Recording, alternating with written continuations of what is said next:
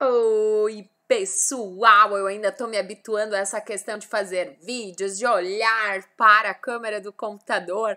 Já fiz agora vários vídeos diferentes. A gente já estudou, né, pessoal? E a gente vai continuar aprofundando agora o nosso conhecimento. O vídeo é, é interessante porque daí os colegas depois que não tiverem acesso à internet, à web, vão poder estar tá revisando uh, após né, o nosso período quando a gente tiver os períodos de aulas presenciais, para também estar tá tirando as suas dúvidas, né? É uma forma de revisão. Uh, e eu fico muito feliz de poder estar tá contribuindo, chegando à casa de vocês, uh, mesmo que à distância. Espero que todos estejam bem. Uh, nós vimos nos nossos últimos encontros as características do conhecimento mítico ou teológico, como preferirem, mas uma narrativa que explica basicamente o mundo a partir da visão dos deuses, né? De um ser sobrenatural que controla tudo. E também vimos as características e as formas para a gente refletir, né? Uh, diferente do senso comum, buscando uma reflexão mais aprofundada. Enquanto o senso comum é chato, raso, agora a gente está procurando entender como é que funciona esse raciocínio mais complexo. Nós vamos estar usando de referência a obra da Marilena Chauí, Iniciação à Filosofia, que é o livro didático que ela produziu aí, muito bom, bem interessante, uh, para estar tá organizando esse raciocínio da gente. Então, tudo que eu falar aqui vai estar tá também aqui nos textos da Marilena Chauê. Eu espero que todos possam ler, uh, mas para que isso se torne uh, mais claro, eu vou estar tá buscando explicar essas ideias. Uh, e uma das minhas ideias com relação a isso, talvez eu já tenha comentado, mas o que uh, eu acredito que torna os seres humanos humanos é a capacidade de olhar para as estrelas. Quando os primeiros grupamentos humanos deixam de olhar para os próprios pés, para a sua própria existência e começam a olhar para o firmamento, para as constelações e se espantam com esse mundo que existe uh, e, para além do espanto, buscam criar explicações racionais é, explicações que não passam pela intervenção divina, é que a gente vai estar tá construindo e elaborando a filosofia. Então, sim, eu acredito que olhar para as estrelas ajude a explicar o que nos torna humanos. Mas a filosofia não nasce junto com o ser humano. Primeiro vem as explicações míticas, depois as de senso comum e só bem depois, bem de forma bem recente, lá na Grécia Antiga, que vai surgir a filosofia, que é a base de todo o conhecimento científico. Né? O raciocínio filosófico ele sustenta todas as diferentes ciências que surgem depois. Então, eu trago aqui para vocês uma citação do Albert Einstein, uh, que fala que o mais importante, e isso é, é uma citação que eu trago bem válida para esse contexto que nós estamos vivendo, da Covid-19, do isolamento social, que o mais importante para o mundo do conhecimento não é em si aquilo que já foi produzido, aquilo que a gente já sabe, mas a capacidade da gente superar aquilo que a gente já sabe e imaginar e buscar um novo. E isso é mais importante, a imaginação é mais importante do que efetivamente tudo aquilo que a gente já tem construído ao longo da história. Então, buscar este novo, buscar este além é o que nos torna humanos também. E é muito imprescindível para o conhecimento humano. Então, é para a gente pensar esse momento que a gente possa imaginar novos cenários uh, e a partir desses novos cenários estar buscando novas realidades, muito mais conhecimento. Albert Einstein mostrando para gente que ele continua super atual. Então vamos à questão que vai estar embasando aí o, o nosso raciocínio, que é a, a importância do processo de abstração para o surgimento da filosofia. Então, tem uma série de condições que vão estar ligadas ao surgimento da filosofia na Grécia Antiga. E nós vamos buscar entender que condições são essas e como elas junto vão estar levando isso. Mas antes disso, é preciso entender o que, que é uma abstração. Então, a abstração é, é, sempre aquilo que a gente ignora as características individuais, particulares e foca única e exclusivamente na essência de um objeto, de um animal ou de algo da natureza. Então, ela tem sempre o objetivo de agrupar aquilo que é comum. E aqui eu trago dois exemplos: o das aeronaves, ah, que são é, objetos que têm o poder né, de voar. E tem três exemplos diferentes aqui: helicóptero, avião supersônico, né? E outros. Ou até mesmo dos mamíferos, né? Que reúnem aí uma gama de animais bastante diferentes entre si, que vivem tanto na água como na terra, mas que têm algo em comum que vocês já estudaram em biologia, espero que vocês lembrem, porque eu não me recordo agora. Mas vejam que a gente tem animais bem diferentes reunidos dentro desse mesmo uh, conceito. Então a abstração ela busca a essência de algo, aquilo que é comum em vários objetos uh, ou elementos da natureza diferentes. E eu vou explicar gente como é que a gente elabora, né? E por que que essa abstração é tão importante para o surgimento da filosofia. Então, quando a gente busca um conceito sobre algo, a gente está sempre falando de uma ideia. Por mais que essa ideia represente a realidade, ela não é a realidade em si.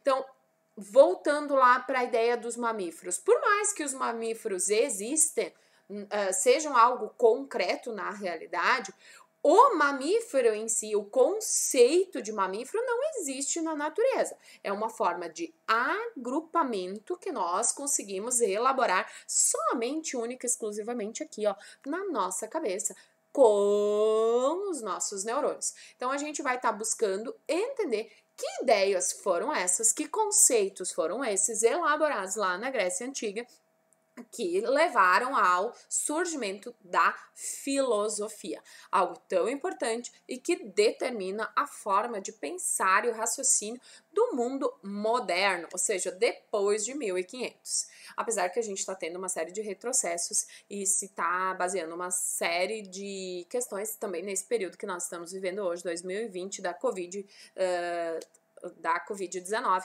relacionando isso com um processo de intervenção divina, que daí nesse caso seria uma explicação mítica para a natureza. Mas agora nós vamos falar sobre filosofia, conhecimento científico, abstração e vamos deixar de lado os uh, valores, as experiências do ambiente mítico e do senso comum.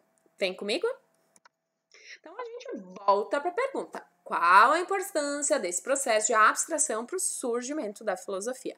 E nós vamos falar agora das condições históricas, ou seja, o que de fato os gregos fizeram, como fizeram e de que forma isso tudo junto embolado chegou nesse contexto da filosofia que permitiu aos gregos olharem cada vez mais para as estrelas e menos para o seu próprio umbigo, e com isso permitiu que eles pudessem florescer o conhecimento de seu tempo. A primeira condição histórica é, são as viagens maríticas, marítimas. Por quê? Uh, eles imaginavam que no mar e também em terras além mar, ou seja, terras para além do mar Mediterrâneo, viviam figuras, uh, seres mitológicos que intervinham na natureza. Qual foi a surpresa deles ao viajarem pelo Mediterrâneo, ao se depararem com os novos locais?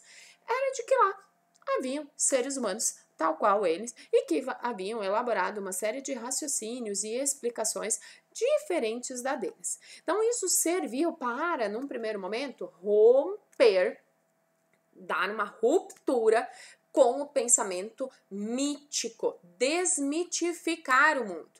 Porque quando eles se deparam com um mar que não tem monstros e não tem deuses, com outras terras que não tem monstros, que não tem deuses, eles começam a se perguntar olhando lá para as estrelas. Será que de fato as explicações sobre a natureza, sobre a origem do ser humano, que davam explicações mitológicas, uh, eram de fato verdadeiras?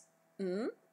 talvez vocês já saibam a resposta dessa pergunta. Mas não foi só isso que levou os gregos a uh, elaborarem o pensamento abstrato filosófico além das viagens marítimas que nascem da experiência e do contato com diferentes povos, porque nos, uh, a Grécia, por ser bastante insular, tem várias ilhas nessa região, muitas ilhas. Ela uh, muitas vezes tem dificuldade de alimentar uh, o povo, todo o povo, né? Que estava lá e precisava buscar alimentos fora da Grécia. E é por isso que eles gente. Viajam, gente. É por uma questão bem prática. Querem comida. Mas, além da comida, eles encontram o diferente. E, ao encontrarem o diferente, eles não dizem, oh, o diferente, eles estão errados. Não. Eles olham para o diferente e pensam, uau! Eles pensam diferente. Como posso aprender com eles? Eles comparam as narrativas, eles buscam apreender algo daquela nova experiência que, que surge diante deles. A segunda condição histórica que surge paralelamente é a do calendário. Como assim do calendário? Pode parecer meio ridículo, mas se vocês uh, mostrarem um calendário e dizerem que hoje é dia 13 de abril de 2020 para a vaquinha mimosa de vocês, ela não vai entender bulhufas do que vocês estão falando. O mesmo vale também para o cachorro, para o gato, para o papagaio ou sei lá qual é o outro animal. Com isso eu quero dizer o quê? Que o calendário, gente, ele é uma abstração conhecida e criada com significado criado somente para a mente humana. E a gente demora, inclusive, um pouquinho para entender o significado do calendário. As minhas filhas têm 5 anos, quase 6, e elas ainda não têm, estão ainda iniciando esse processo de conhecer o calendário, muito com base na referência da própria data de aniversário, dos dias, da passagem do tempo. Mas quando os gregos organizam um calendário, eles estão, de uma certa forma, controlando o tempo, a passagem do tempo. E não mais os deuses controlam a passagem do tempo, mas são os próprios seres humanos que percebem, através principalmente da, né, além do dia e da noite, das estações, percebem ciclos repetitivos nesse tempo e organizam um calendário que tem uma função, tem validade para todo mundo, indiferente, independente independente do lugar do mundo em que aquele sujeito esteja, tá? E vários grupos organizaram calendários diferentes. Mas os gregos, por estarem elaborando o calendário, viajando e por uma outra série de condições, isso tudo vai permitir que a filosofia surja nesse contexto. Depois disso, a gente tem o surgimento da moeda. Por que o surgimento da moeda? Como eles estão viajando para comprar né, produtos que eles não têm, porque a região. Ah, geograficamente a região deles, né, por ser muito próxima do mar, uh, por ter muitas montanhas, ela não é muito propícia para agricultura. Então, eles buscam em outros lugares uh, o material. E para que eles não precisem ficar única e exclusivamente trocando, uh, vejam só que eles elaboram a ideia da moeda, ou seja, um metal, nesse caso, a gente usa cédulas, né, papel, que não tem valor nenhum, mas que a gente aprende, uh, é convencido de que tem um valor. Então, a partir disso, a partir dessa elaboração, desse convencimento dos outros povos também, de que aquilo ali tem um valor, eles conseguem substituir Uh, e transcender, sair né, da, daquela, dos limites que o escambo que é a troca simples, uh, impedia eles de avançar. Então agora eles não, não precisam mais uh, deixar de fazer um negócio, deixar de fazer uma venda ou uma compra, porque eles não conseguem entrar em consenso sobre o produto que eles querem trocar, né? Por exemplo, eu tenho galinhas uh, e alguém tem lápis. Eu quero lápis, mas Uh, a pessoa que tem os lápis não quer as galinhas, não é, é vegetariano e não come carne. Então, a troca não ia ocorrer. Eu ia precisar procurar alguém que tivesse lápis e que quisesse as galinhas, que era o que eu tinha para oferecer. Então vejam que a moeda vai intermediar esse processo e ela não existe. Lembra, lembrem da vaquinha mimosa. A vaquinha mimosa não vai entender o valor do dinheiro. Provavelmente, se vocês botarem uma nota de 100 reais dentro do coxo, ela vai comer junto com a alimentação que vocês colocarem para elas. Não vai dar valor nenhum para isso. E isso é uma abstração. É aquilo que só a mente humana é capaz de alcançar e de entender, porque nós fomos ensinados a isso. Além disso, além dessas três características, surge a lógica da vida urbana. E aí, pessoal, nesses cenários, comerciantes que estão muito por trás das viagens marítimas também, uh, eles pro, uh, começam a propor explicações diferentes também para patrocinar né, grupos diferentes, especialmente ligados às artes, ao conhecimento. Por quê? Porque as explicações míticas do mundo davam muito poder, né, uh, especialmente através das terras, para os nobres, para os aristocratas. Então, os comerciantes, uh, eles buscavam também patrocinar narrativas, né, ou uh, ações que não, não trariam mais benefícios ainda para uh, o cenário dos aristocratas rurais. Lembrando que esse cenário aí uh, da vida urbana vai apresentar uma série de novos problemas e que o surgimento de uma outra coisa que eu já vou falar uh, também vai ajudar bastante. Por quê? Quando as casas estão muito próximas, tá? É, não havia só o conflito entre comerciantes e aristocracia rural. A pela própria proximidade, muitas pessoas num espaço muito pequeno. Imaginem uma casa de um apartamento de 60 metros quadrados e 4, 5 pessoas morando nele, não podendo sair dele. O, a quantidade de conflito que tem. O espaço urbano, claro que guardada a escala, é basicamente isso. Muitas pessoas num espaço muito pequeno e que precisam conviver sem se matar, tá? Na sequência disso, a gente tem Uh, o surgimento da escrita alfabética. Diferente dos egípcios que usam os hieroglifos, uh, dos chineses que até hoje usam os ideogramas, ou seja, para cada ideia eles têm um símbolo. Imaginem só que os chineses têm mais de 6 mil símbolos e as crianças, quando aprendem a ler e escrever, precisam aprender 6 mil símbolos e o significado de cada um deles e decorar como é que se faz. A escrita alfabética ela possibilitou, primeiro, uh, uma infinita gama de combinação de letras diferentes que com isso vão formar infinitas palavras. São poucas letras, gente. Efetivamente o nosso alfabeto tem 23 letras. Algumas letras importadas ali no meio também, mas menos de 30 símbolos que combinados Uh, entre si vão gerar uma infinidade de palavras em diferentes línguas. Percebam que vocês usam a escrita alfabética para aprender português, inglês, espanhol e todas as outras línguas que vocês quiserem, com exceção do chinês, gente, porque daí o mandarim tu tem que decorar, então, e por isso que é uma língua tão difícil de aprender, tu tem que de, uh, fazer decorar os ideogramas, que são bem bacanas para as tatuagens, né, gente? É uma imagem que traz, né, um ideograma que representa a paz. Ah, o pessoal curte muito. Agora, para aprender a ler e escrever, se comunicar nessa forma de escrita é muito mais complexo. Mas por que que isso ajudou a filosofia, o surgimento da, uh, o nascimento da filosofia? Porque era muito difícil para as escritas simbólicas representar conceitos. Lembra do que a gente falou antes da, da abstração?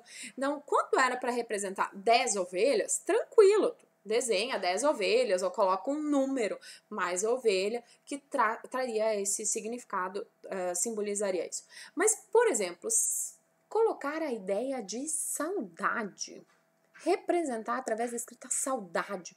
Essa que a gente está sentindo de não estar juntos. Pode ser tanto da Prof. Débora como de outras pessoas. Eu sei que vocês morrem de saudade de mim, mas também dos colegas de vocês. Mas vejam que saudade é um conceito que se aplica para todas as pessoas do mundo em várias situações diferentes. Alguns vão ter saudades dos pais, outros do namorado, outros do irmão, outros de vivências. Então, a, a saudade é uma abstração, é um conceito que na escrita simbólica a gente não tem muito bem como traduzir. Então, não tem um símbolo, uma única forma de desenho que simbolizaria a saudade, assim como felicidade, justiça, que são conceitos, né, abstrações. Então essa escrita vai colaborar também nesse sentido. E por último, mas não menos importante, a gente tem o surgimento da política. A política, gente, uh, na política vale tudo. E eu não sei por que, que não tá rodando esse GIF aqui. Antes eu testei e estava rodando. Mas a Mafalda veio aqui para nos dizer que na política vale tudo, gente. Vale tudo Uh, tipo, vale tudo de briga? Não. Vale tudo em que sentido? Vale discutir ideias, vale argumentar, uh, vale errar, vale acertar. E, especialmente, a política traz a ideia da lei que tem de ser obedecida por todos os sujeitos, independente das classes sociais, se é aristocrata, se é comerciante, se é trabalhador do campo ou trabalhador da cidade. Vai trazer a ideia da lei, vai trazer a ideia da discussão, do basear um raciocínio, um pensamento a partir da contradição dos diferentes, do conflito. É, e, e, o diferente vai ser importante para a elaboração desse raciocínio. E além disso, e mais importante ainda, uh, a gente vai ter um espaço urbano em que tu vai ter que fazer uh, escolha, gente, baseados no raciocínio, na argumentação e não no achismo. Então, quanto mais o diferente se coloca, essas discussões da esfera pública vão trazer essa experiência do diferente que o, somente no espaço público se elabora, abandonando Cada vez mais as explicações míticas para a natureza, para explicar a realidade. Então, o que era importante para explicar a realidade era uh, a, é vai ser baseado na discussão, na escolha racional dos sujeitos uh, que vão estar argumentando. E assim a gente volta para nossa pergunta inicial: qual a importância do processo de abstração para o surgimento da filosofia? E aí a gente tem ah, uma série de questões que vão estar surgindo na Grécia Antiga que estão relacionadas a, abstrações. Todas essas características que eu apresentei para vocês estão relacionadas a esse processo de abstração e que vão revelar o quanto os seres humanos estão olhando para as estrelas, tá? O quanto eles estão abstraindo, elaborando conceitos. Abraço, até o nosso próximo encontro.